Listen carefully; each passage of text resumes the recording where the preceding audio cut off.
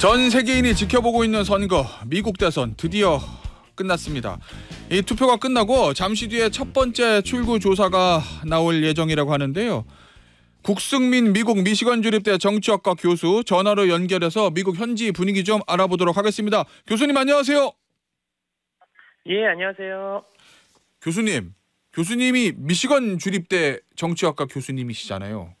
이 저 미시건이라고 하면은 swing state 어떻게 보면 이분 미국 대선에 키를 쥐고 있는 주 중에 한 곳인데 오늘 저 투표의 분위기는 좀 어땠습니까? 어, 제가 오늘 이제 학생들이랑 또 여러 사람들이랑 얘기를 해봤는데, 예. 어, 학생들이랑 얘기를 해보니까 이제 주로 학생들은 민주당 지지색이 좀 짙죠. 근데 굉장히 걱정과 초조함이 굉장히 많다는 걸 느낄 수 있었고, 어, 그에 반해서 공화당 지지자들은 굉장히 어떤 기대감을 갖고 있는 그런 분위기가 강하더라고요. 어, 그래요? 친구들이 이제 좀 이제 투표장에 사진들 좀 보내주는데 투표줄이 굉장히 길고, 예. 현재 지금 발표에 의하면은 투표율이 굉장히 높을 것으로 예상을 하고 있고, 음. 어, 이 미시간뿐만 아니라 모든 경합주에서 지난 2020년 대선보다 굉장히 높을 것이라고 예. 그런 예상이 나오고 있습니다. 어, 저 교수님, 저 민주당 지지 성향이 있는 학생들은 초조해하고 공화당 지지자들은 여유 있다는 얘기는 이 저 경합주인 미시건의 판세가 바닥 분위기는 공화당이 유리하다. 뭐 이렇게 봐도 되는 거예요, 그러면? 그렇다기보다는 예. 아무래도 좀 민주당 성향 특히 학생들의 경우에는 뭔가 이제 트럼프가 이기는 거에 대한 두려움 자체가 굉장히 큰 것 같고 오. 그런 거에 반해서 공화당 지지자들은 민주당이 이긴다고 거기에 대한 뭐 두려움이 있다기보다는 음. 그냥 뭐 어떤 자신감이라고 해야 될까 예. 그런 게 굉장히 좀 큰 것 같아요. 그래서 약간 좀 두려움의 강도가 좀 약간 차이가 있는 것 같습니다. 어, 일종의 그런 민주당 지지자들한테는 트럼프 포비아 뭐 이런 게 있다는 얘긴데 저 공포가 좀 있죠. 아 그래요. 예, 교수님. 이 지금 투표율이 굉장히 높다고 말씀하셨잖아요. 이게 이제 투표율이 높고 낮은 거에 네. 따라서 해리스나 트럼프 어느 한쪽으로 좀 유리하다 이렇게 볼 수 있는 것들이 좀 있나요? 어 그렇게 볼 수 있는데요. 어떻게 예. 봐야 되냐면은 우선 그 전체로 보기보다는 어느 지역이 높냐를 봐야 되는데 아. 도시냐 농촌이냐 따라 다르고 예. 도시 투표율이 높을수록 해리스한테 유리하고 그에 비해서 농촌 투표율이 높으면은 어 트럼프한테 유리하죠. 오. 그리고 또 하나 중요한 거는 여성 남성 간의 투표율 차이인데 그렇겠네요. 지금 현재 이제 그 발표 나오는 것들을 보면 여성 투표율이 굉장히 높다고 하더라고요. 그래서 그래요? 예, 예. 원래 여성 투표율이 남성 투표율보다 높은데 예. 여성 투표율이 이번에는 더 크게 높을 것이라는 얘기가 있어서 음. 해리스 캠프에서는 굉장히 자신감을 그 보여주는 그런 발표들을 계속 하고 있는 상태입니다. 예. 교수님, 우리나라 대선은 6시 딱 끝나면 지상파 출구조사 나오면 대충 저 보이잖아요. 이제 결과가. 근데 미국은 보니까 그렇죠. 시간 시간대가 4개고 그래 가지고 이 개표 방송은 어떻게 진행되는 겁니까? 미국 같은 경우에는.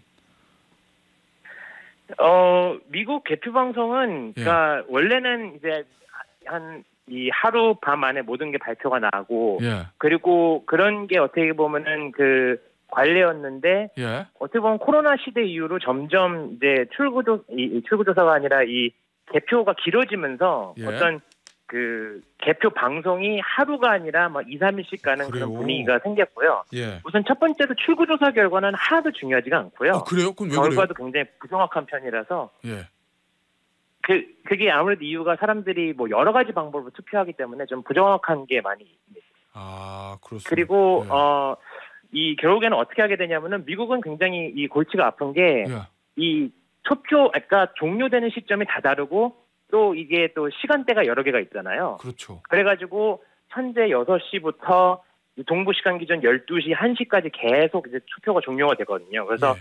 그각 주별로 투, 투표 종료가 될 때마다 계속 새로운 그런 그 내용을 발표 발표하는 그런 분위기를 항상 이 아. 진행이 되고요. 예. 어, 가장 먼저 닿는 것은 이제 곧 10분, 15분 뒤에 인디애나, 켄터키가 가장 먼저 닿는데 예. 그래서 이제 미국 선거 방송을 보면 언제나 인디애나, 켄터키가 가장 먼저 나옵니다. 어, 그래요. 예. 그리고 이제 그런 식으로 어. 매주 나오면은 그 주 나올 때마다 이제 누가 이기는 것 같으면 당선 확실 유력 이런 식으로 보게 하고요. 어. 근데 이게 굉장히 골치가 아픈 게 예. 또 이게 그 음모론을 나게 한 이유기도 한데 이 어떤 주들은 사전 투표를 먼저 까는 주들이 있고요. 예. 어떤 주들은 본 그 당일 투표를 어, 먼저 까는 그렇겠죠. 경우가 있거든요. 예. 그러다 보니까 사람들이 이제 어, 왜 한쪽으로 쏠렸다가 반대쪽으로 확 가느냐 아하. 이런 식으로 음모론이 생기고 그래서 어떻게 보면 2020년에 어, 그런 예. 선거 부정에 대한 의혹이 나오게 됐었던 거죠. 음, 알겠습니다. 교수님, 결국 이제 일곱 개 경합주 러스트 벨트하고 썬벨트 여기를 누가 가져가느냐 요건데 저 뉴욕 타임스 조사에서는 해리스가 4승 2무 1패였는데 그저 그저께죠. 어저께 나온 더힐 조사에서는 트럼프가 4승 2무 1패. 야, 이러면 당선자 예측 자체가 달라지는 건데 교수님은 개인적으로 어떻게 보고 계십니까? 어느 게 좀 맞을 것 같다고 보세요? 이게 굉장히 웃긴 게 예. 미국이 이제 그런 그 예측 사이트들이 많이 있거든요. 그 베팅하는 사이트가 아니라 이제 이 선거 예측 사이트가 있는데 한 10개 넘게가 있는데 그 모든 10개 이 지금 사이트들이 다 50대 50으로 예측을 하더라고요. 와. 그런 정도로 굉장히 팽팽한데 예. 제가 보는 거는 예. 우선 러스트벨트에 있는 미시간, 위스콘신은 민주당이 소폭 우위를 가져가고 있고 아하. 썬벨트에 있는 조지아, 애리- 애리조나는 공화당이 소폭 우위를 가져가고 있고 예. 그다음에 가장 중요한 주가 펜실베니아인데 이 펜실베니아는 매우 박빙이라서 예. 예측이 불허하고 결국에는 펜실베니아를 가져가는 어 당이 이기지 않을까 싶기도 하고요. 그 나머지 음. 노스캐롤라이나 네바다도 매우 박빙인데 예. 그래서 해리스 기준으로 보면 2승 3무 2패 상황이 아닐까 싶은데 예. 문제는 뭐냐면 이게 굉장히 예측 불허라서 아하. 어, 이- 2승 3무 2패라고 했지만 이 해리스가 전부 다 쓸어가든지 트럼프가 전부 다 쓸어갈 수 있는 상황이 얼마든지 나올 수 있습니다. 어 그래요. 뭐 어쨌든 한 곳을 뽑아라. 그러면 펜실베니아인데 교수님 이 보니까 네네. 펜실베니아가 워낙 뭐 저 우편 투표 개봉하는 방식도 좀 독특하고 이래가지고 결과가 나중에 나온다는 얘기들 하더라고요. 그러면은 전 예. 전체 이 대선 승자 당선인 이거 결정이 하루 이틀이 아니라 더 걸릴 수도 있다는 얘기예요? 어, 아, 아마도 최소 제 생각에는 미국 기준 수요일, 그러니까 내일까지는 기다려 봐- 봐야 할 것 같고요. 예. 지금 이제 어떻게 봐야 되냐면은 이 지금 이제 가장 빨리 개봉하고 좀 빨리 투표, 개표가 되는 데가 어 조지아나 노스캐롤라이나 이런 데, 이런 곳이거든요. 예. 근데 만약에 거기에서 해리스 쪽에 이 기세가 굉장히 좋으면은 아하. 전반적으로 해리스한테 이제 그 우세한 방식을 갈수 있고 아니면은 그 거기에서 트럼프가 굉장히 강하게 앞서 나가는 모, 모양새를 보면 끝까지 알 수 없는 분위기를 갈 텐데 예. 어 결국에는 그런 몇 가지 힌트를 찾아가면서 기다릴 수밖에 없고요. 예. 펜실베니아 마지막 발표는 미국 기준 수요일 뭐 다- 아주 상황이 안 좋은 목요일까지도 갈 수 있습니다. 어 그래요. 알겠습니다. 하여튼 뭐 저 하루 이틀 안에 더 걸릴 수도 있다. 뭐 이런 말씀이신데 이 막판의 변수와 관련해서요. 뭐 우리 언론에서도 이 얘기를 많이 하던데 3, 40저 백인 여성층 히든 해리스 예예. 여기가 관건이다. 뭐 이런 얘기들 많이 하더라고요. 현- 우리나라 언론에서는 이거 예예. 이게 저 공화당 전통 표밭을 흔들 수도 있다. 이런 게 좀 과한 주장이에요. 아니면은 실제로 그럴 가능성이 있다고 보십니까, 교수님? 어 굉장히 가능성이 있는 주장이고요. 예. 아무래도 그 이제 그 미국은 한국이랑 굉장히 다른 게 선거 운동을 할때 예. 가가호호 방문을 해서 오. 이그 투표를 독려하는 그런 그 선거 운동 방식이 있거든요. 어, 그게 돼요. 그런데 이제? 그런 그 선거 운동 하는 사람들의 이야기 들어보면은 예. 실제로 이제 그 같은 가정에 남편이 나오면은 어, 우리 민주당 안 찍어요 하고 이제 그냥 이 말하는데 반면에 그 옆에 이제 살짝 와가지고 부인이 아, 자기는 조용하게 이 민주당을 찍을 거라고 얘기하는 그런 그 사례들 얘기들이 많이 돌더라고요. 아 실제로. 그래서 이제 뭐 예. 이게 실제로 나타날지 안 나타날지 모르지만 예. 그런 그 분위기가 있다는 얘기는 점점 많이 나오고 있습니다. 어 그래요. 그럼 결국 이제 백인 여성들 hidden 해리스 이게 어느 정도 될 것이냐가 이제 관건이다. 뭐 이런 말씀이신 것 같습니다. 지금 예, 예. 교수님 보니까 이 워싱턴 D.C.에는 저 경찰이랑 주방 주방위군 동원됐다고 하고 저 화면 보니까 뭐 상점들이 무슨 뭐 저 합판이나 이런 걸로 유리창 가리고 좀 저 준비를 하는 것 같은데 뭔가 좀 막판에 불미스러운 일이 터질 수 있다 이런 예상들을 하고 있는 겁니까? 그 정도로 조심한 걸로 봐서 아무래도 지난번 이제 개표와 이제 그 1월 6일 의사당 사건에 대한 사람들의 트라우마가 남아 있어서 조심하는 것 같고요. 예. 현재 투표하는 동안에는 어떤 큰 일이 일어나지는 않았는데 음. 어, 또 어떻게 될지는 두고 봐야 되겠죠. 근데 음. 확실한 거는 지금 현재 그 트럼프가 그 벌- 벌써 필라델피아에 약간 선거 부정 의혹이 있다는 그런 그 트루스 소셜에다가 자기 그 소셜 미디어에다가 글을 올렸거든요. 벌써요? 그런 식으로 이제 점점 분위기를 달궈 올리기 시작하면은 예. 개표하는 과정에서는 또 약간 무슨 일이 생길 수 있는 상황인 건 음. 맞는 것 같습니다. 아니 그러면은요 교수님 만약에 펜실베니아가에서 해리스가 이겨서 해리스가 당선자로 확 저 발표가 되더라도 트럼프가 선거 부정 펜실베니아 선거 부정을 이유로 불복할 수도 있다 이렇게 보십니까?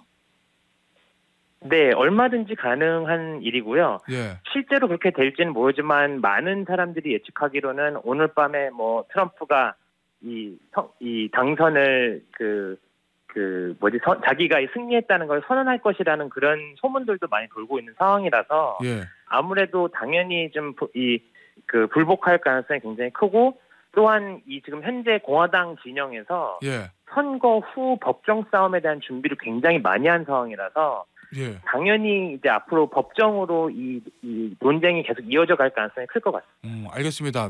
교수님 미국 지금 투표 다 거의 끝났잖아요. 예, 예. 누가 됩니까?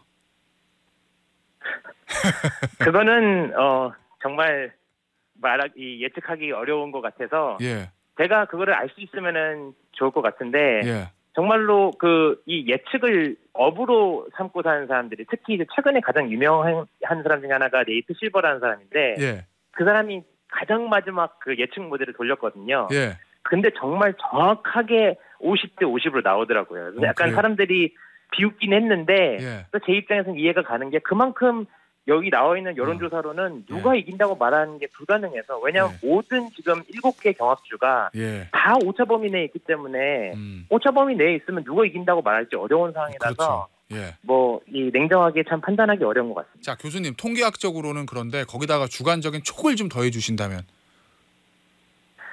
어 그러면 제 얘기 말고 제가 그 흥미로운 얘기를 하나 예. 그 마- 말씀드리면 좋을 것 같은데 예. 그팀 알버타라고 제가 저희는 미시간 주립대학을 졸업한 사람이고 예. 굉장히 좀 이 보수 성향이 있는 그런 이 그 거기에 이 보수 세력의 어떤 취재를 굉장히 잘하는 사람이에요. 근데 예. 여러 개 취재를 해보고 어 최근에 이제 트윗을 올렸는데 예. 한 말이 뭐냐면 2016년에는 자기 머리는 그 2016년에 힐러리 클린턴이 이길 것 같았고 예. 자기 가슴은 트럼프가 이길 것 같다고 말했라고 예상을 했는데요. 예. 어, 이번에 이 사람 예상으로는 거꾸로 자기 머리로는 트럼프라고 얘기하는 것 같은데 가슴으로는 해리스가 이길 것 같다고 얘기를 한다고 했는데 예. 그렇게 말하는 어떤 그 느낌이 뭔지 저는 굉장히 약간 공감 반- 가는 바들이 있더라고요. 그래서 예. 근데 결국에는 이러한 예. 것들이 굉장히 주관적인 거라서 확실히 제 뇌와 이 가슴 사이에서 뭐가 맞다고 할지는 참 판단하기 어려운 것 같습니다. 알겠습니다. 오늘 저 인터뷰는 여기서 마무리하도록 하겠습니다. 지금까지 국승민 미국 미시간 주립대 정치학, 정치학과 교수였습니다. 교수님 감사합니다. 예, 감사합니다.